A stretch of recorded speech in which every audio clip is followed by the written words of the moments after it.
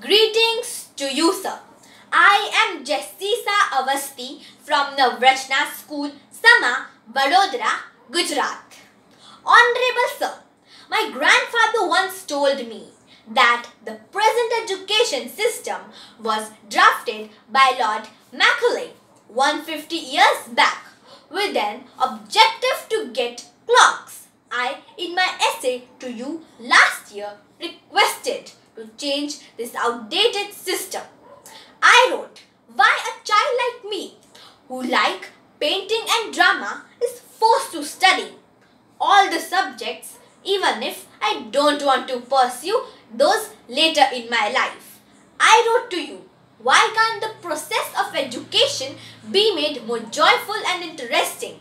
I am thankful to you, sir, as I can see my humble request getting fulfilled.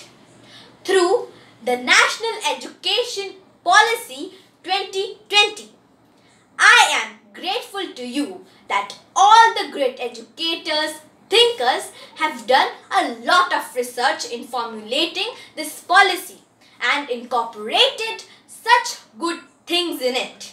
Sir, now my earnest request to you is to implement this policy as early as possible so that more and more students should be benefited and I believe that if students of today are allowed to study their field of interest, it will help them to become optimistic, creative and contented citizens who will further help to make our country also a wonderful and a happy place to live in.